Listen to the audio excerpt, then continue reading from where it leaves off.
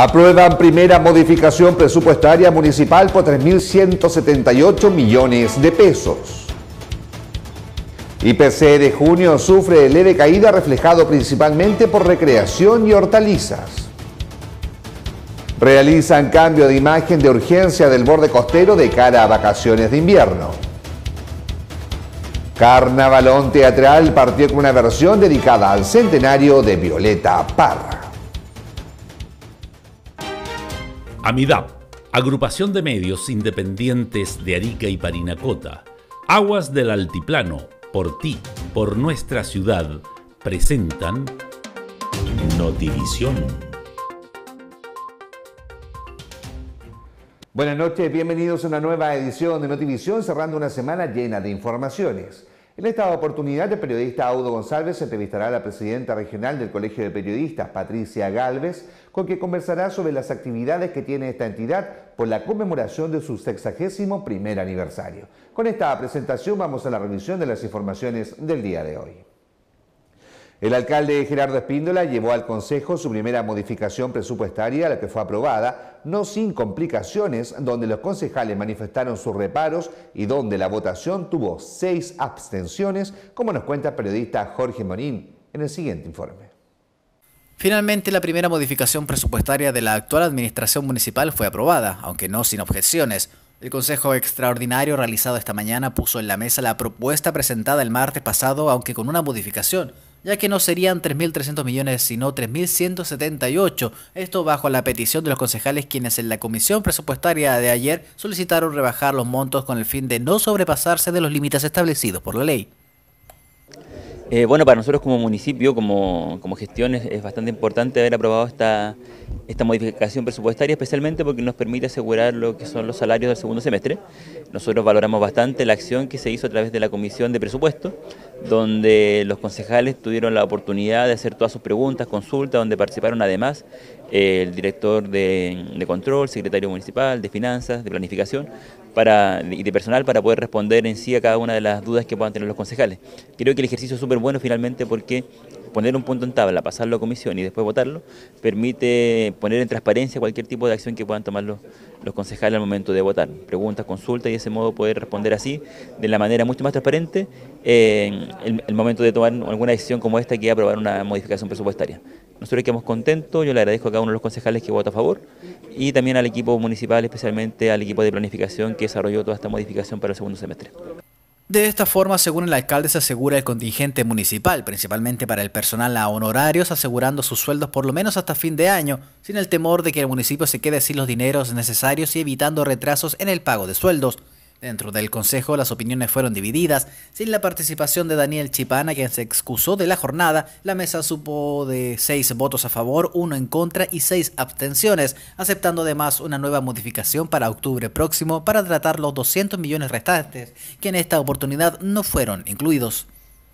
Y los presupuestos hay que modificarlos cada cierto tiempo porque si no, no, no puede ser un presupuesto fijo para todo el año. Además, este presupuesto era el presupuesto que hizo la gestión pasada y hay que modificarla porque este, otra gestión.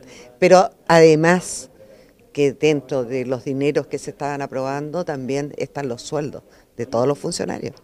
Eh, entonces no podíamos dejar de que los, o, había que despedir a esos funcionarios y, empezar de nuevo con esto de, que van a juicio y todo eso. Entonces había que aprobar eh, la modificación esto siempre se ha hecho y además la garantía que nos da este municipio es que con todo lo que se habla de la gestión pasada, la gestión pasada dejó un municipio limpio. Nosotros no tenemos eh, problemas financieros y eso yo creo que es casi ningún, casi ninguna municipalidad de Chile es así. Entonces nosotros nos tenemos que sentir orgullosos y no tener miedo de hacer modificaciones porque además eh, están trabajando los funcionarios de planta de este municipio. En comparación con el año pasado, en la anterior gestión, en el año se hicieron 20 modificaciones presupuestarias. Eso habla de una naturaleza del cómo funcionan las dinámicas municipales y eso no lo podemos ignorar. Aquellos que hemos trabajado por muchos años en la municipalidad sabemos que esto fluye, es dinámico, lo que hoy día se me presenta, ¿no es cierto?, implica que hoy día tengo que hacer modificaciones. Los concejales, el 15 de diciembre nosotros hicimos aprobación del presupuesto que, que venía heredado, ¿no es cierto?, de la anterior gestión y señalamos todos los concejales que estábamos de acuerdo que íbamos a hacer todas las modificaciones necesarias para poder, ¿no es cierto?, a partir de los del planteamiento que tenga el alcalde como, como gestión, de poder eh, hacer las modificaciones necesarias. Entonces, eh, llama la atención, ¿no es cierto?, que hoy día desconozcamos que hoy día, por ejemplo, ante la primera gran modificación, que son más de 3 mil millones, eh, desconozcamos lo que dijimos el 15 de diciembre. Mira, yo soy concejal muchos años y en el tiempo que soy concejal nunca había aprobado una modificación de 3.500 millones lo he analizado, lo he estudiado en mi comisión, he conversado con mis abogados. Hay cosas que a mí no me cuadran, porque esta plata no es mía, de la comunidad. Ahora, a mí me extraña mucho, porque aquí hay un presupuesto para el año, donde están los cálculos hechos, y acá hay que votar una modificación para pagar a la gente que echó el señor alcalde, que no es mi responsabilidad. Por eso yo voté en contra, porque no estoy de acuerdo con la modificación eh, suplementaria. De esta forma se cerró este capítulo dentro del Consejo Municipal. Los dineros fueron redistribuidos desde ítems en los que las platas no eran necesarias como mantención de luminarias, donde se explicó que existe un ahorro debido al recambio actual. A esto se suman montos por concepto de ingresos, los cuales irán directamente para sueldos de empleados de aquí hasta diciembre. Y en otras informaciones, una buena noticia para los chilenos arrojó el IPC de junio, donde este índice que mide la inflación fue negativo. Uno de los factores de la baja fueron las verduras y hortalizas, lo que vivimos claramente los ariqueños con la caída del tomate. El Instituto Nacional de Estadísticas arrojó en esta jornada el índice de precios al consumidor, números que reflejaron una leve disminución en el promedio de las 12 divisiones que conforman la canasta. En este sentido, el IPC fue de menos 0,4% para junio pasado, acumulando 1,1% en lo que va de año y un 1,7% en los 12 meses. La canasta del IPC no es una canasta de consumo básica, es una canasta de consumo promedio todos los productos que están en la canasta, alrededor de 340 productos, son productos que se determinaron por otra encuesta que se llama EPF, encuesta de presupuestos familiares. Y los productos que aparecieron en esta EPF son los que finalmente se miden con IPC. ¿Y cómo aparecieron en la encuesta de presupuestos familiares? Se hizo un estudio, se hace un estudio eh, de un año aproximadamente, del consumo promedio de las familias chilenas, en todo Chile. Arica, Tarapacá, etcétera. Y se ve el consumo. Entonces la gente consume pan, está en la canasta. La gente consume tomate, está en la canasta. La gente consume plátano y no cereza, por ejemplo, entonces el plátano está en la canasta y la cereza no, etcétera, etcétera. Estos 340 productos aproximadamente salen de esa encuesta, no, las pone el INE antojadizamente, salen de esa encuesta. Y una vez que salen de la encuesta, lo que hace el IPC es monitorear mes a mes las variaciones de precios de cada uno de ellos. Entonces, en este mes, esas variaciones, en promedio, en junio, fueron menos 0,4. Lo importante es que finalmente uno va monitoreando todos los meses, pero lo que importa es cómo va el IPC de este año, la medición desde enero a junio, y ahí nosotros tenemos que el IPC desde enero a junio es 1,1. Y otro dato importante es cómo va el IPC medido en el último año, no calendario, quiere decir los últimos 12 meses, de junio del año pasado a junio de este año, estos últimos 12 meses, y ahí va 1,7. Para el Ministerio de Economía, en tanto, los números son más que positivos. En general, la disminución significa una baja en el gasto de los bolsillos de los ariqueños, quienes además sienten la disminución no solo en los productos, sino que también en otras obligaciones, como gastos hipotecarios. Bueno, esto es un número muy bueno ¿ah? ya que eh, el costo de la vida eh, va bajando.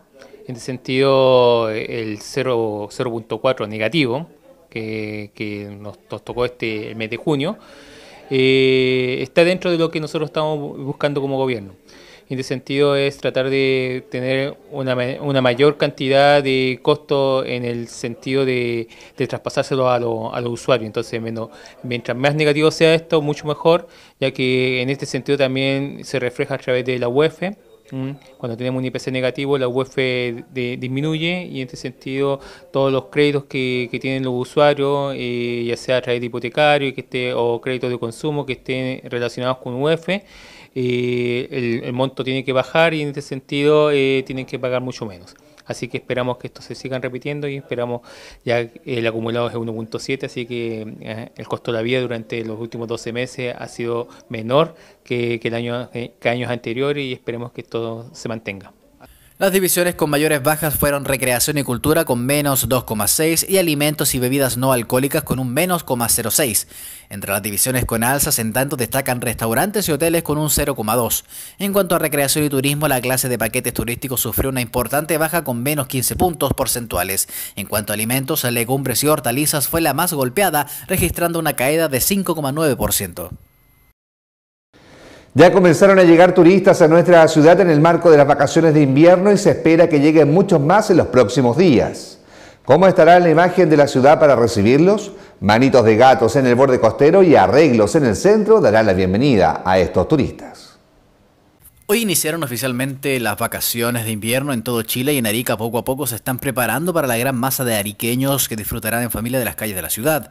En este sentido, el municipio ha iniciado un plan de conservación de parques y juegos infantiles con el fin de recibir a los niños que este invierno salieron de vacaciones con la mejor pinta. Nosotros estamos trabajando hoy día en, arreglar el borde costero en, dos etapas, una etapa que es más profunda y una que es hoy día más, que responde a la urgencia. Por ejemplo, los juegos infantiles de Chinchorro que son juegos que están realmente en un abandono y en un deterioro también eh, bien considerable, por eso que estamos pintando, estamos restaurando.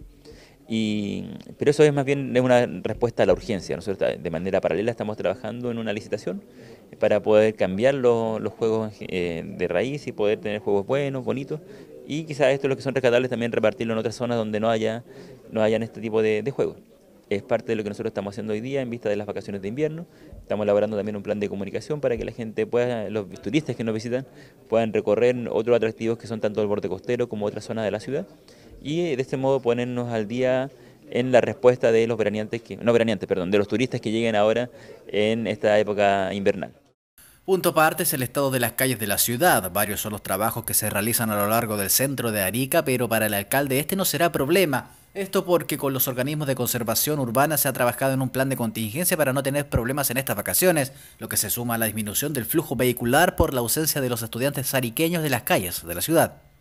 Claro, lo que generalmente lo, que ocurre en, el tema del tránsito y el, o el tráfico que se, genera en el centro, eh, los pics ocurren en la época de clase. Y hoy día, afortunadamente, como hay vacaciones de invierno, eh, una, alta marea de, personas que nos vengan a visitar en, invierno no, no, debiera, no debiera haberse afectado, dado que se redujo, ya basta con ver hoy día lo que pasó día viernes, último día de clase, se redujo eh, notablemente el número de, vehículos circulando en la ciudad, así que nosotros esperamos que eh, la avenida, y primero esperamos que vengan hartos, turistas a visitarnos y esperamos que los arreglos que se está desarrollando en el centro no afecten finalmente a, la visita de la gente, especialmente al momento de movilizarse en vehículo. Desde el municipio se hizo un llamado a la comunidad a cuidar los juegos infantiles que son de todos los ariqueños, en especial de los niños de la ciudad. A esto se suma un especial cuidado con el ingreso a las playas durante esta época, debido a que la ausencia de salvavidas es alguno de los eh, problemas eh, que debido a la legislación no se permite la contratación de personal fuera de la temporada de playas. Por tal motivo, si bien se invita a conocer y disfrutar el borde costero, hay que hacerlo con precaución, sobre todo por las marejadas que afectan estos días a nuestra ciudad. Vamos a una pausa comercial y al regreso el periodista Udo González entrevistará a la presidenta regional del Colegio de Periodistas, Patricia Galvez. Ya volvemos.